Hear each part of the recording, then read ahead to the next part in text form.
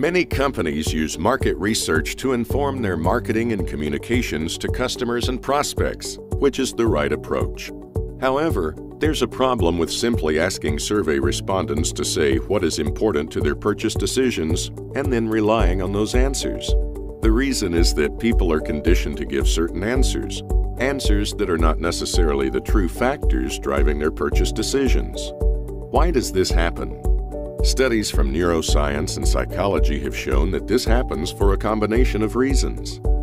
Often, people don't consciously understand the reasons why they buy, so they give the expected answers. People are also reluctant to admit they made a purchase decision based on feelings, so they give socially acceptable reasons like quality and price because they want to be seen as savvy and sophisticated. At 6 Degrees, we have seen this effect time and again.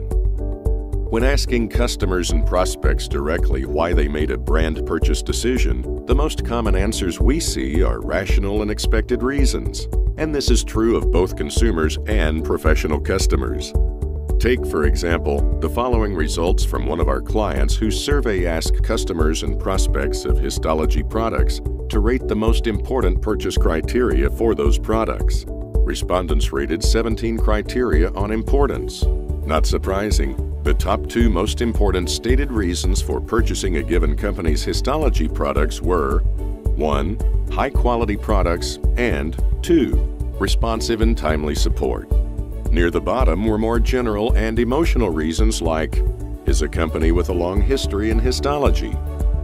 Unfortunately, many companies will take stated importance data like this and run with it crafting their marketing efforts around the attributes reported as most important by respondents.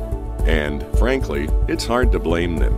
The insidiousness of stated importance data is that it makes so much sense. It's logical. Unless, of course, you happen to know that stated importance data is often not to be trusted at face value, for the reasons mentioned earlier. So, if we can't really trust stated importance data, what can we do? At 6 Degrees, we have learned to trust something we call a driver analysis. Simply put, a driver analysis uses statistical techniques to identify the true drivers of purchase behavior. For example, by looking at how a group of brands is rated on various attributes and the purchase intent of the individual brand, we can identify the strongest predictors of actual purchase intent. This implicit analysis uncovers which attributes actually drive brand purchase intent, as opposed to trusting explicit importance ratings given by respondents. To come back to the earlier client example, remember how respondents said that product quality and service and support were rated as most important from a list of 17 attributes when considering the purchase of histology products? Well, our statistical driver analysis on the dataset identified two completely different variables as most predictive of brand purchase intent. They were in order. Number one, enables me to diagnose with greater confidence, and two, is a company with a long history in histology. This is not an unusual finding when using our driver analysis methodology. When you ask someone what's important in determining which brand they will purchase, you will most likely get a different answer than what actually drives their purchase behavior. Fortunately, running a driver analysis from the results of a well-structured survey allows us to get past the ego-protecting and socially expected answers. Companies can then use these deeper and more accurate insights to inform their marketing strategy.